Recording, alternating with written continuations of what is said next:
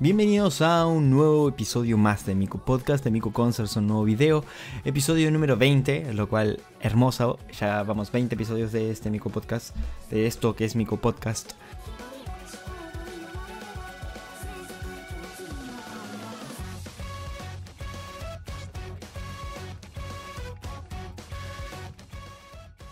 Yo tengo varios puntos a destacar y uno de ellos creo que es eh, la intro. A mí, me, por ejemplo, me gusta ese toque que le dieron medio chino, o sea, como que le dieron un, toque medio raro a la intro. Fue como que eh, oriental, medio, medio raro que a mí eh, es un... O sea, me gusta mucho. Lástima, bueno, después la canción que le sigue, pero en general la intro a mí me gustó demasiado. Sí, sí. Tú te refieres cuando van presentando los personajes, ¿verdad? Claro, eh, al principio. El principio de todo, eh, viste que suelen usar la pantalla eh, mm. transparente y ponen, bueno, imágenes de los, que, de los cantantes. Y bueno, esa intro oriental, tipo oriental que pusieron, que creo que es parecida a la del año pasado o es idéntica. a mí me gustó, por ejemplo. Pero no sé, es algo, una impresión que yo tengo que a mí, por ejemplo, me, me gustó porque es como diferente a las otras. Viste que, por ejemplo, Snow Miku, Snow Miku Live y Miku Expo usó la misma intro. Y esta en cambio es totalmente diferente, es como otro rollo que tiene, es, muy más tranquila también, es, es, otra, otro ambiente que tiene, cambia totalmente diferente. O sea, cambia la perspectiva del concierto al comenzar porque decís, ah, esto no es mi Expo, eh, o esto no es Magical Mirai porque o sea, se nota cuando un concierto es idéntico a otro, más cuando comienzas con la misma introducción, ¿no? Sí. Yo pienso que, que eh, hacer el concierto en China parece que como que cambiaron, porque también además de, que el intro es diferente a, los demás, también el, la toma de, cámara, que nosotros hablamos en Discord, ¿te acuerdas? Sí, sí, sí, sí, la toma de cámaras es totalmente random, es como... en un momento empiezan a mostrar a la gente y hacen. No, no, no es como que muestran solo a la gente, no. Le hacen primeros planos a la cara de la. Pobre el, chino que está tranquilo, agitando y bailando. Y de la nada una cámara de frente. Debe ser re incómodo. O sea, yo me pondría muy incómodo. Ya de por sí, si hay cámaras, me pondría incómodo. Imagínate con una cámara de frente. Además, esos planos que hacen que yo creo, bueno, eh, los llamaba a mano alzada. Eh, como que mm. al principio, viste, las, primeras canciones como que sí, está bueno, está bueno, pero después de un tiempo, como en la sexta, séptima canción, ya te, empezás a cansar, te empezás a marear, digo. Que estás como, mm. no, por Dios, se mueve de mucho. Mi teoría es que hay, solo hay seis planos, pero bueno, no sé cuánto, seis, siete planos nomás. Pues no sé, no sé. Pero como estábamos diciendo, este. Eh, por ser este. Bueno, yo pienso que es un staff diferente, como te dije. Y, el, y ese una, puede ser una de las razones por, el cambio de. Pues de escenografía. Eso también conlleva nuevo staff. Más el. Lo que tú dijiste de la intro. Que también este.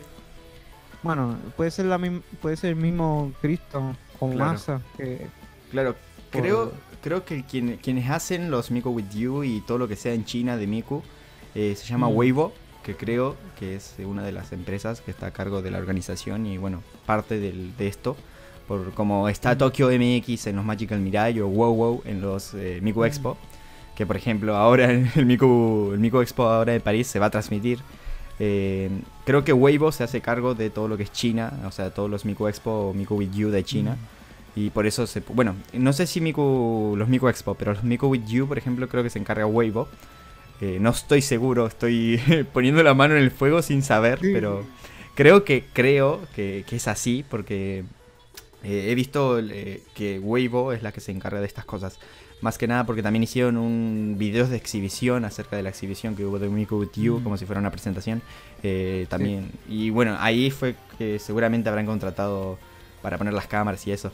Eh, hay algunas tomas que están buenas, pero hay otras que, o por ejemplo, hay momentos en algunas canciones en las que están 30 segundos con la misma toma y no cambia y es como, eh, bueno, no, no, no, no, acompaña las cámaras con eh, lo que estás viendo, porque, por ejemplo, en Magical Mirai o en Miku Expo intentan que, o sea, intentan que las cámaras te sientas como en movimiento y que las cámaras acompañen a los efectos. Y en cambio acá como que también le llegan tarde los efectos.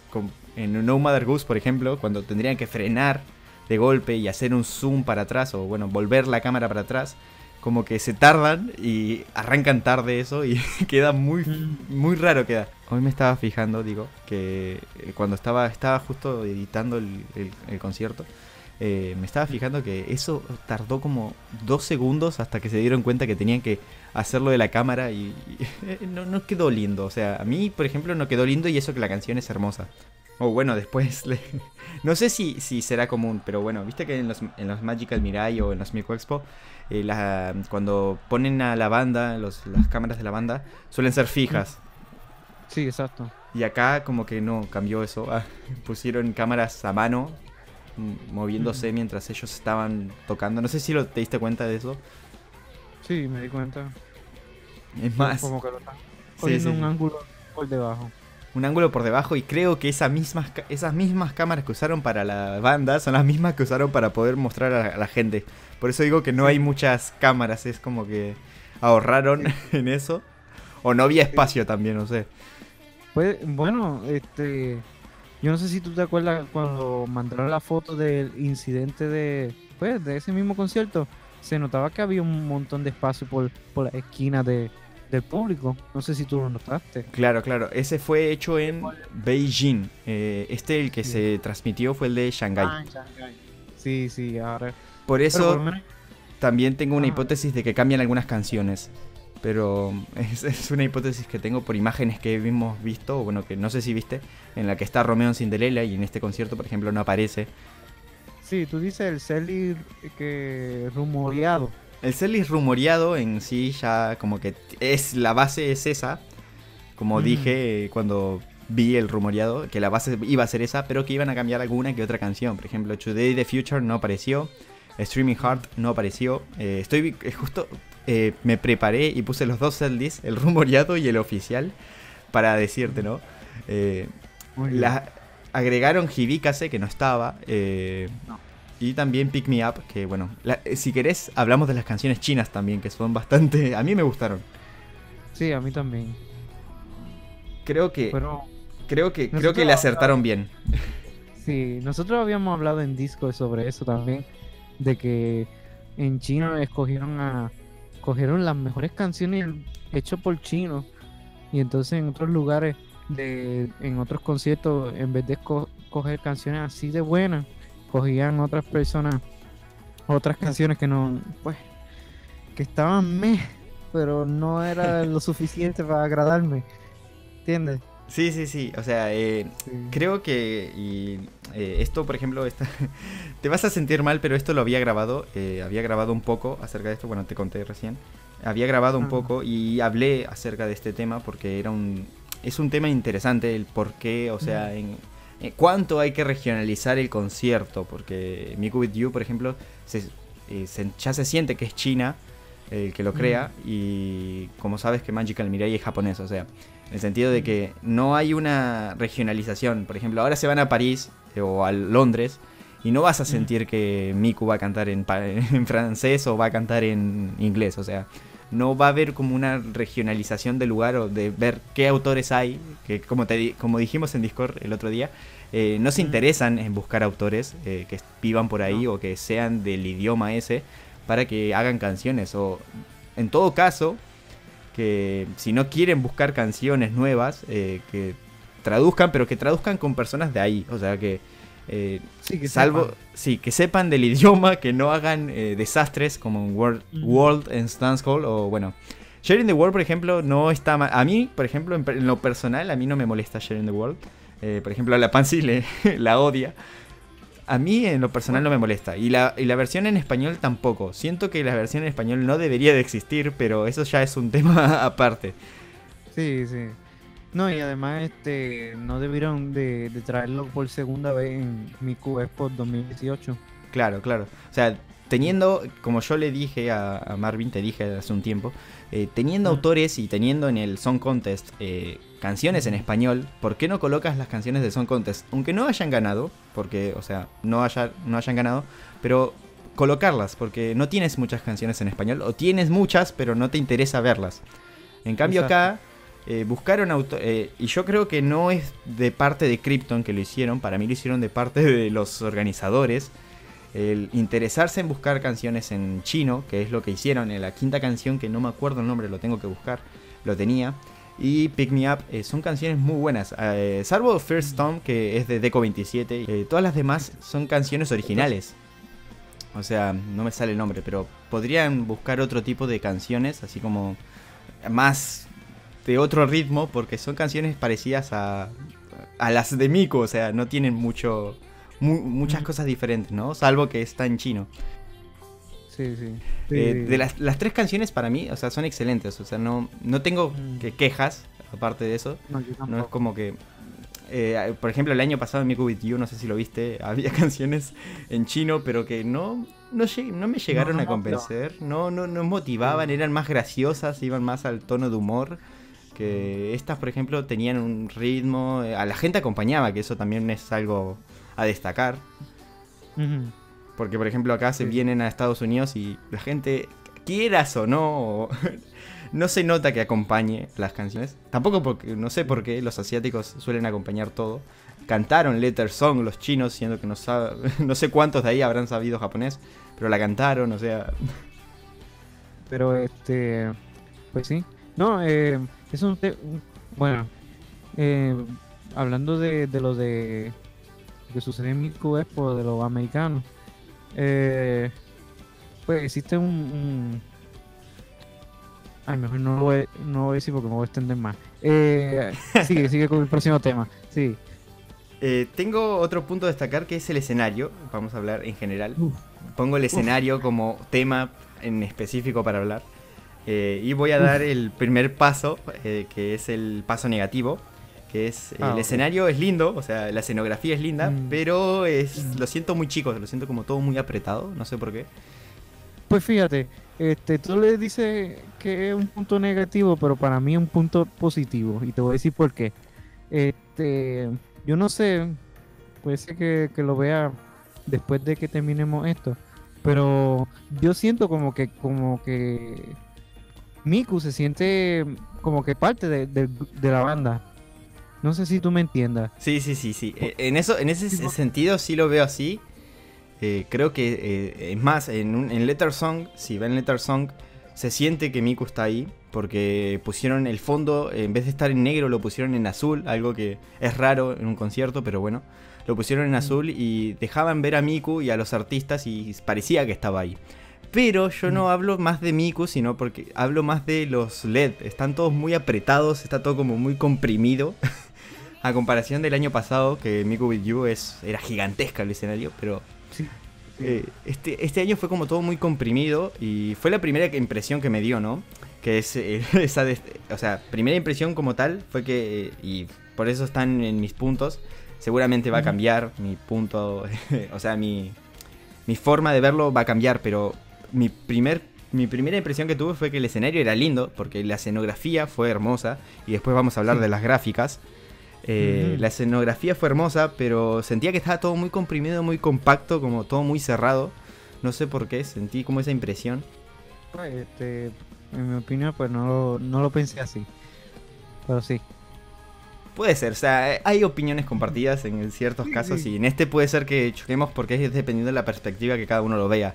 Eh, yo lo sentí muy así, o sea, quizás no se sienta así para otras personas, pero ya que hablamos de las gráficas, vamos a hablar de la colocación de los LEDs y de la forma que, no sé si te lo había comentado o no sé si lo puse en el Discord, de que se forma como un espacio en el escenario, ya que las gráficas se comparten en todos los LEDs, o sea, en todas las pantallas. Entonces hace como un espacio ahí que, en el que está Miku y es, es rarísimo, se ve hermoso. Y ojalá lo, lo aprovechen más, ¿no? Ok, Estoy de acuerdo. Porque eh, no suelen usar las pantallas así como las usaron este año, por ejemplo, sino suelen colocarlas ahí y poner una gráfica en movimiento, pero en este caso eh, aprovecharon que cada pantalla tenía su forma y tenía su espacio y su tamaño y las utilizaron de una manera que eh, es asombroso, o sea, se ve... a mí, no, no tengo quejas en ese sentido porque no, hace tiempo que no veo una escenografía tan eh, linda Interactiva. Y- e interactiva también. Porque, por ejemplo, la de Magical Mirai este año no es como... ah, eh, como que no, no, no me llega a convencer. Más viendo esta. Sí. No, se pasaron aquí. Y también me encantó que, por lo menos el de Mother Goose, un nuevo Mother Goose, Sí. este, eh, tú sabes, bueno, no me acuerdo, no sé si, si tú has visto el video de la canción original. Eh, sí, sí. este, Tengo que recordarlo bien, un- pero sí lo vi. Te lo voy a describir rapidito. Es un background gris y blanco y tiene un corazón este blanco, Claro, claro, sí, sí, sí. que es el fondo típico. Los, los colores típicos también de Wowaka. Exacto. Y entonces me gustó, me gustó que, que hicieron como que en las pantallas, este, que escogieron esos colores para, para tocar esa canción en específico. Sí, respetaron las gráficas, que es lo que... eso En eso nunca nos podemos quejar porque las gráficas suelen intentan respetar las canciones originales. Por ejemplo, Hibikase, que es como un mar electrónico. O bueno, eh, sí. en Magical Mirai 2017, en Dapper Rock, que intenta también tener algo parecido al video. Eh, Después, no sé, eh, tenemos eh, otras, otros ejemplos que tenemos, por ejemplo, es eh, Viva Happy, que las pantallas y los rebotes se- ven en la pantalla. También eso es algo destacar. En- y en, Sí. en donde más se ve es en Rocky. No sé si te diste cuenta que al principio los rebotes eh, su- eh, se ven en las pantallas con colores violetas. Estoy, estoy viendo aquí el, el, el vi- el concierto. Lo, va- lo- Lo quiere ver al detalle. Pero eh, te lo juro que es literal que los colores violetas. Además, el color violeta por el. O sea, el, la- el fondo, o sea, el video es en color violeta también. O sea. Oh, ok, sí, sí, ya lo estoy viendo. Se ven los rebotes en muchas canciones, no solo en esa. Y me gusta porque es más interactiva la pantalla todavía, más de lo que podría llegar a ser. Y podrían hacer un montón de cosas. eh, pero que, por ejemplo, en la introducción, que la pantalla transparente eh, tenga las mismas imágenes que se ven en la pantalla LED, hace que se cree como un espacio, que es lo que decía hace un ratito, que se crea como un espacio ahí adentro en el que Miku está.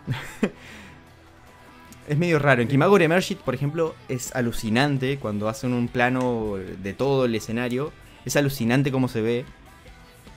En otra canción que se suele ver así bastante es en 8 hit. eh, los colores, es como. Es, es algo No, hermoso. A mí me gusta, por ejemplo. Me, me encanta. Y le puse. Alucinante le puse. menos- Por lo menos en 8 hits, eh, eh, pues, eh, no sé, para, para mí ya lo había visto en Miku Expo y como que en, pues, en Miku Wii U no, no me impactó tanto. No, sí, eh, eh, también vamos a, eh, vamos a poner otro tema. Van a ser temas así medios raros, así de ir metiendo los temas, porque 8 Hit es la sucesora o la sucesora de Remote Control. ¿Cómo escucho? Sí. Es, es, se está usando desde el Miku Expo del año pasado, o sea, no Mm. tiene un descanso, no va a tener descanso por unos años, yo creo. Eh, y pues, no me parece mal porque de una vez por todas nos estamos liberando de Remote Control, pero... Por fin que escucharon a Tom. Pero eh, encima es del mismo autor, o sea, es como que se Sí. dijeron, Wonderful Opportunity, por favor, hace otra canción que la vamos a poner en el concierto seis años más. Fue algo así, yo creo, la charla. Sí, sí.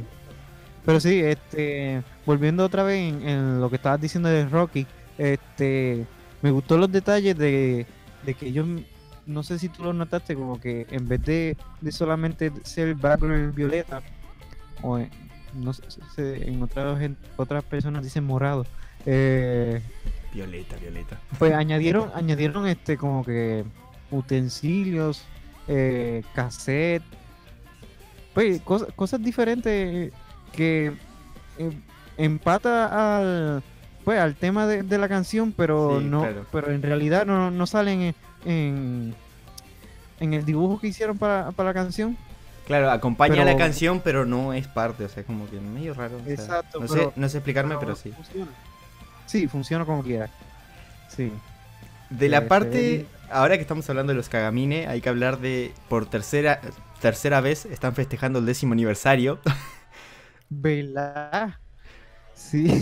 Creo que, creo que festejaron más el, el décimo aniversario de los Kagamine que de Hatsune Miku. Y se lo comenté a Marvin. es como, Sí. por Dios, no, no puede ser que por tercera, segunda vez consecutiva y tercera vez en dos años festejen otra vez el décimo aniversario. eh, con las mismas canciones que aparecieron en Magical Mirror 2018. Y además, se equivocaron al principio de la. O sea, al principio del. Cuando comienza lo del décimo aniversario. eh, se equivocaron en las gráficas, lo corrigieron al instante. No sé si te diste cuenta en la palabra Kagamina Ring. Míralo, No, no. porque son segundos en la que la palabra no aparece bien y la corrigen al instante. Es como, wow, qué, ra- qué velocidad, pero cuando lo vi me, me reí mucho porque digo, oh, un Ah. error. Sí, ya lo vi, estoy aquí. Eso, Lo eh, echaron para el lado, es lo que hicieron. Eh, lo, lo- lo corrieron rápido porque sabían que sabían, o sea, que se equivocaron y no debería de estar eso donde está.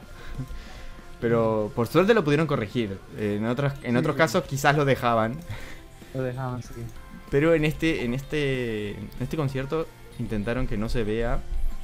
Y eso es un punto a destacar porque digo, que fueron rápidos y no lo dejaron ahí como si nada. Exacto. Ahora, por ejemplo, que estoy viendo otra vez eh, algunas escenas del Miku With You, me encanta cuando ponen eh, palabras a los costados de los del conciertos, como, ¿viste las, los LED que hay a los costados? Ujú. Que no, no están como de frente, están de costado. Sí, Ponen palabras Sí. ahí y quedan hermosas. sí, como el de este el 10 aniversario. Eh, el de 10 del aniversario, o por ejemplo cuando hay alguna palabra eh, que la suelen poner ahí, o texto cuando va a cantar, o Ujú. cosas así.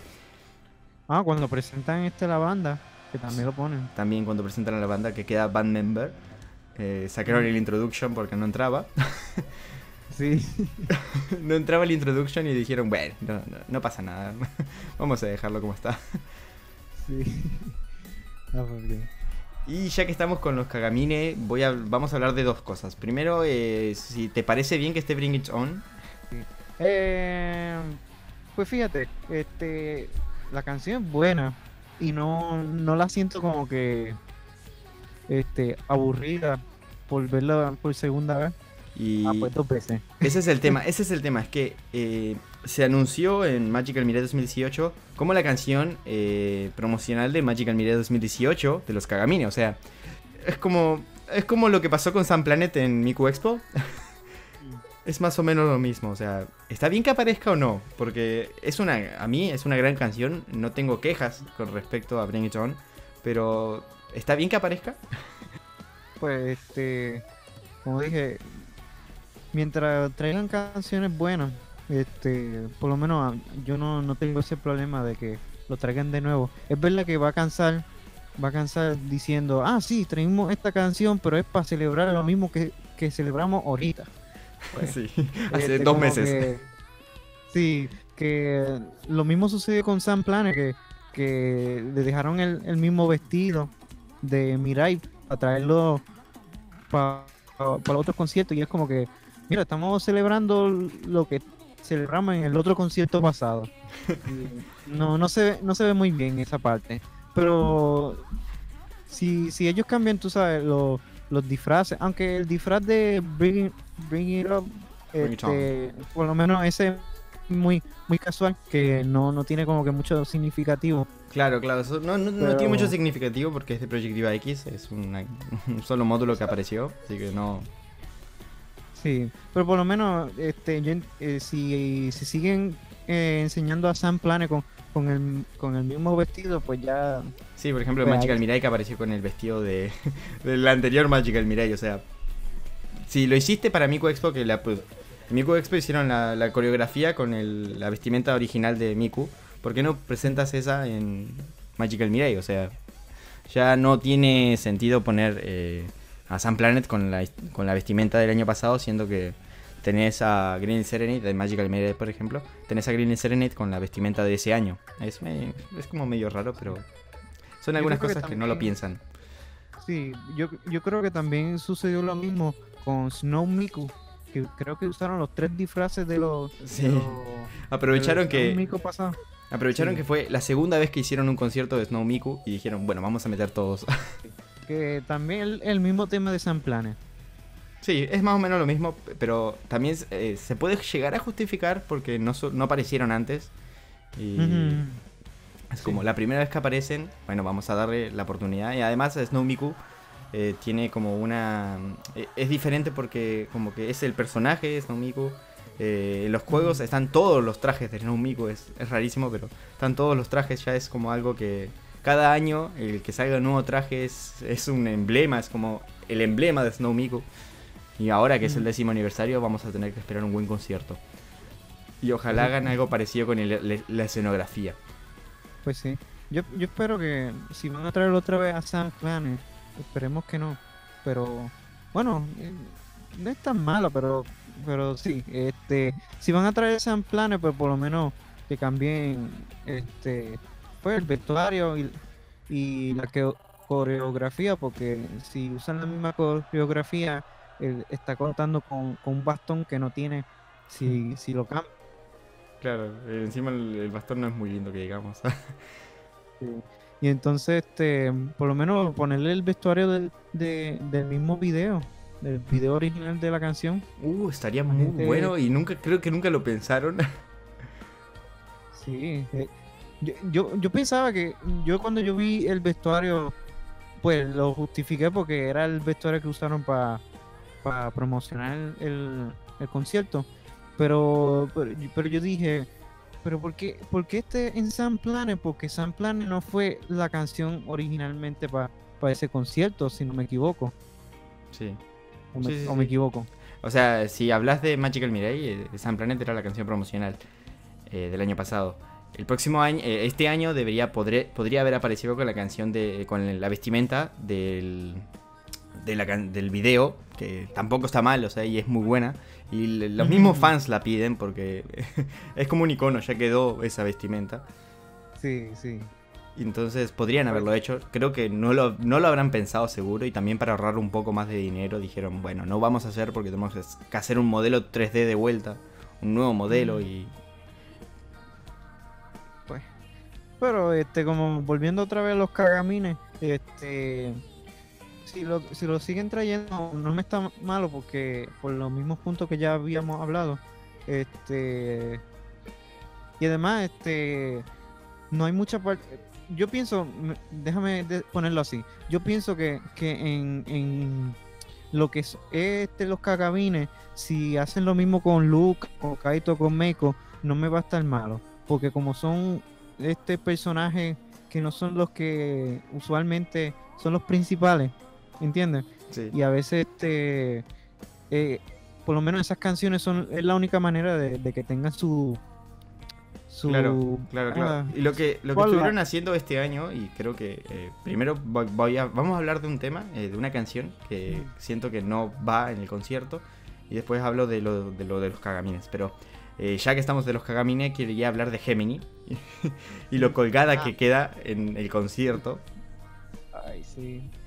Le, pasó lo mismo que le pasó en Magical Mirai. O sea, es idéntico. Antes, de, antes de entrar en, Gemini, este, una introducción a, ese tema.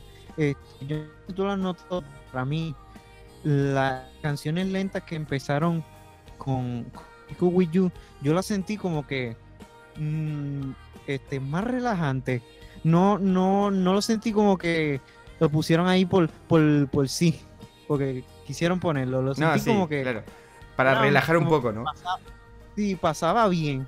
Pero cuando llegaron a Gemini, ahí como que dañaron las cosas. No sé. Es que, eh, o sea, hay un. Es como medio raro. Porque no es como que hay varias canciones lentas. Sino es que está Rocky. tiene antes. Tiene antes de, de Gemini. Tenés Rocky, que es rapidísima. 8 Hit, que también sigue de la misma manera. Bring It On, que explota. O sea. Y después te ponen Gemini. Y después de eso, te ponen la introducción de la banda, que no, no es una canción lenta, es Nyan Cat. O sea, Gemini queda ahí rarísima y encima es larguísima la canción. Dura creo que 7 minutos, o sea. Yo lo paso. yo, eh, si tengo que ver o volver a ver el concierto, te lo juro que lo paso. O sea, no, no dudo en frenarme y esperar a que la canción pase porque eh, traba el concierto, lo frena de una manera que no debería. Y Mm. además, ahora los conciertos, eh, y es una teoría que tengo, lo están haciendo todos rápidos. O sea, en el sentido de, vamos a poner todas canciones rápidas, que no haya mucho frenar, porque no, a la gente no le, o sea, te, te puede llegar a pagar un poco la- las canciones lentas, y más cuando te las ponen en el medio sola, por ejemplo, Glow. Cuando te la ponen después de la canción china, la primera canción, y después te ponen Atakeito y te ponen Glow en el medio y es como... mm, te la pagan, te apagan un poco y es como que no, no, no sé, no, no la siento parte del concierto, sino la siento como colgada ahí. Eh, estamos, estamos de acuerdo en eso. Y ya que estamos, vamos a hablar de eh, lo que están haciendo para poder también eh, ponerle más canciones a los demás, que es poner a los, a los Kagamine como solos, o sea, como juntos, y no ponerlos por separado. Mm, sí. Eh, o sea, evitar las canciones de Kagamine Rin y de Kagamine Len separados y poner más, por ejemplo, pusieron dos de Luca, algo que es inimaginable en estos años. Sí.